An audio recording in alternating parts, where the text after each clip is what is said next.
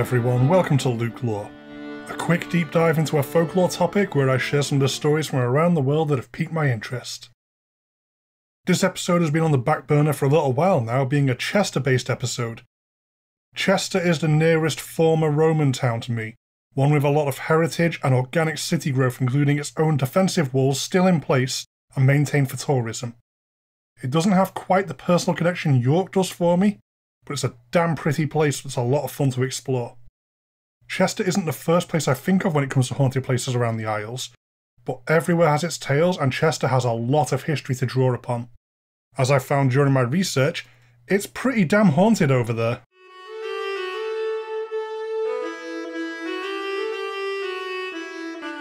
The Haunted Thorntons. I'm not sure how renowned Thorntons is internationally, but there are nationwide chocolatiers in the UK who are pretty far spread and well liked. Thorntons of Chester is home to what may be the most famous ghost the city has Sarah.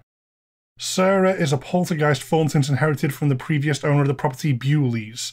The upstairs stockroom and the basement appear to be her primary haunts, with stories going back to the Bewley's days and carrying on through to the present of drastically rearranged stock being discovered in the morning.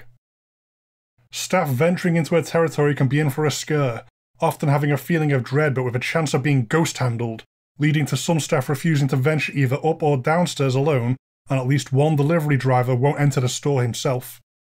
Certain things can draw Sarah down to the main store floor though. The very first February after Thorntons moved into the building, they set up a Valentine's Day display, which Sarah absolutely demolished.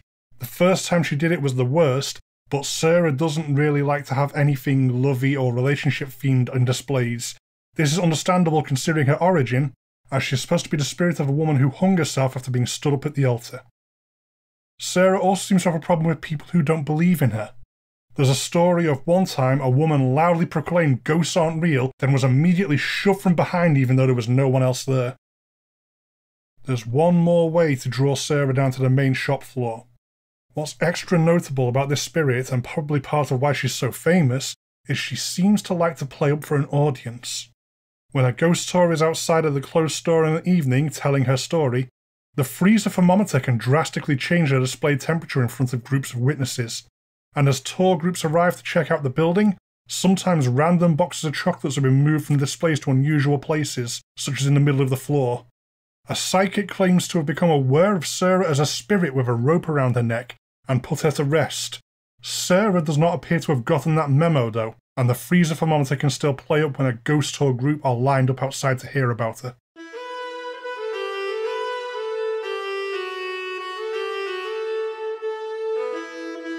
A very creepy photo. While not as active as a lot of other haunted places, this one has a disturbing piece of evidence to go with it. This happened at the Bombay Palace in Upper Northgate, a family owned Indian restaurant. If you go search online for ghostly figure spotted Bombay Palace Chester, you should be able to see the photograph for yourself. This occurred 3am one night in the run up to Christmas 2013. The co owner, Aaron Ali, was sat at the dark after closing. He was front of house when a banging noise came from the back of the restaurant.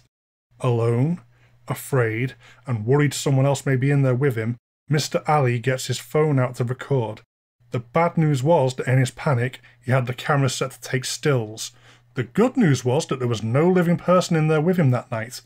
The worst news is that he caught something on camera anyway, despite being alone. The men's toilets had the door propped open by a mop, a normal bit of end of night cleaning to help air it out. While not recording video, a picture was taken through this door, catching the mirror in the deeper darkness beyond. Apparently, at first, it just looked like the mirror was somehow catching some light, but that light of the mirror is very different when it's zoomed in on. It looks like a stylized white mask of some description, caught just hanging in the air in the reflection, and it is pretty damn creepy to look at. Now, Mr. Ali insists this is no photo manipulation. In his own words, he doesn't know enough about computers to attempt this, and he was initially reluctant to share the picture with press as he didn't want to make his children afraid of the restaurant. But multiple people, both staff, customers, even handymen, have been saying for years before the picture evidence they felt there was something in the back of the restaurant. And the real kicker? In the 80s, a coffin was found in the basement. An empty coffin. What the heck is loose in there? It's a good thing it isn't particularly active. This one gives me a bad feeling.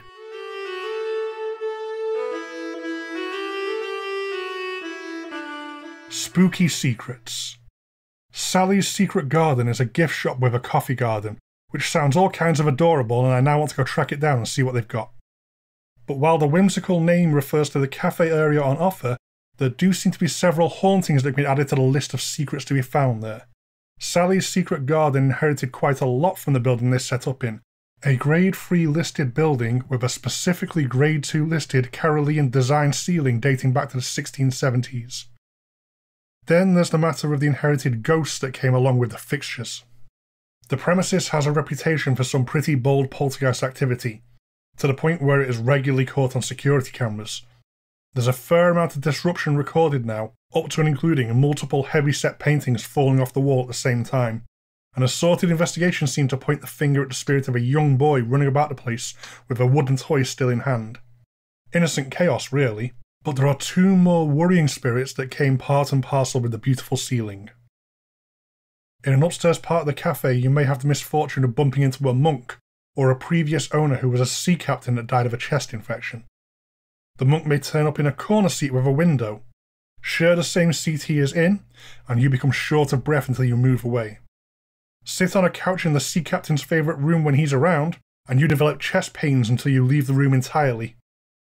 These two are somewhat worrying. Is this malicious? Or is it just very unwelcome sympathetic reaction where you share their symptoms that killed them? Either way, these are spectres which are unpleasant to directly cross paths with. Sally's Secret Garden is something of an alternative venue, which may help bring out the paranormal activity found within. The gift shop sells a wide range of New Age accoutrements, and they hold such things as Wiccan workshops there. It's definitely an interesting sounding place to visit.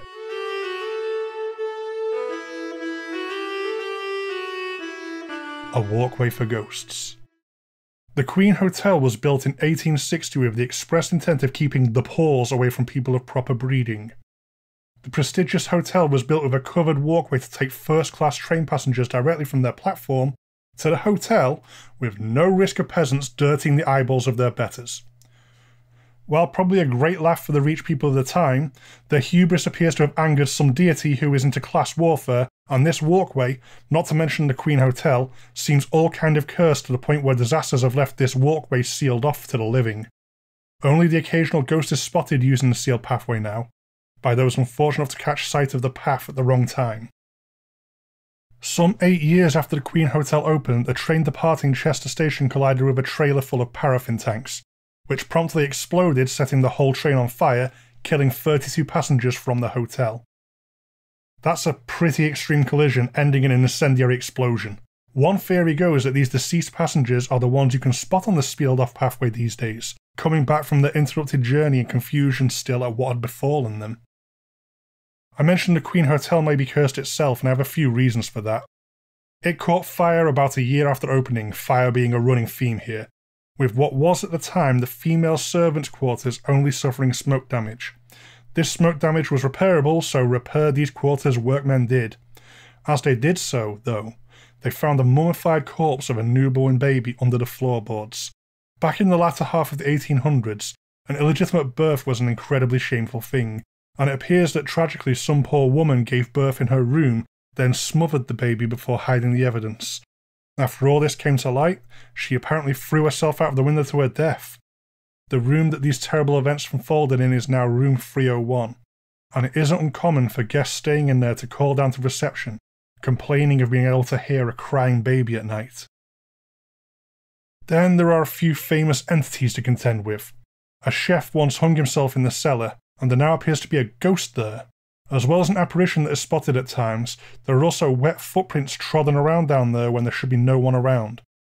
Weirdly, it is claimed that it is not the chef who killed themselves haunting the cellar, but is instead the person who found the body who lingers beyond the grave. The most brazen spectre of the hotel appears to bother people in room 230.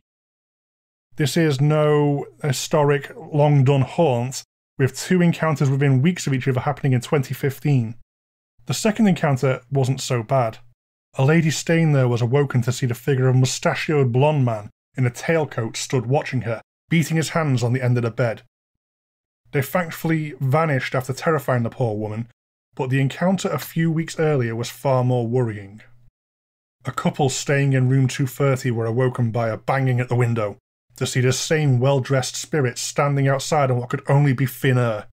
Having woken the couple up, the figure climbed into the room before then climbing into the bed with the poor couple. They ran out of the hotel at 3am and refused to go back inside, and I can't say I blame them after that. This isn't even all the paranormal activity going on in there. Baths mysteriously fill themselves, orbs turn up on camera, and speaking of things turning up on camera, a skeletal bride can be captured in the background of pictures taken during wedding functions held at the hotel. The Queen Hotel is haunted as all hell, and I'm now thinking about staying there in the near future. Maybe try to get room 230, see if anything happens.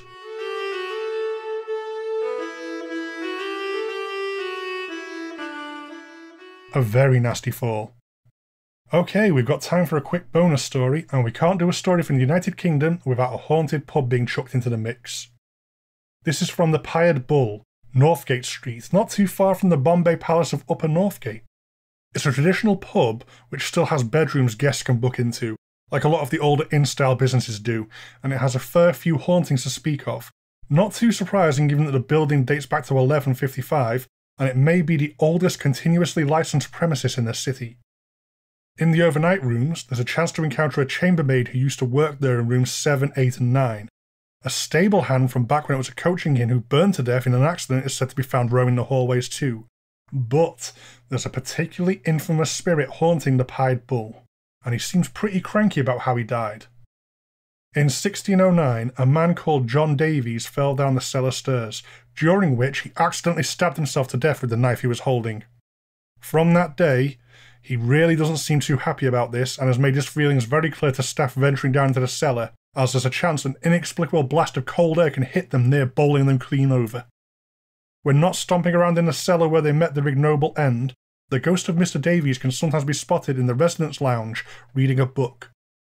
Best not to ask him about his fall should you encounter this phantom, though, it feels like a touchy subject.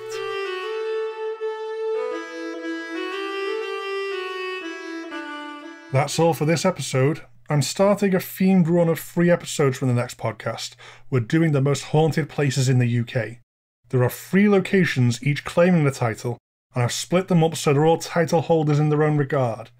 After them, we may do a vote for fun on who is the overall most haunted in your opinion. I'll fill you in more as we go.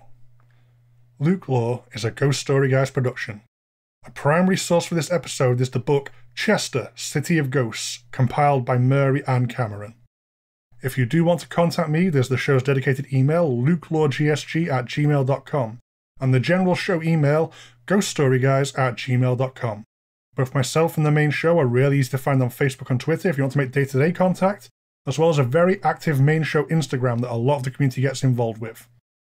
If you want to support the show directly, definitely check out our Patreon at patreon.com slash ghoststoryguys. As ever though, the absolute best thing anyone can do to support the show is to give it a listen.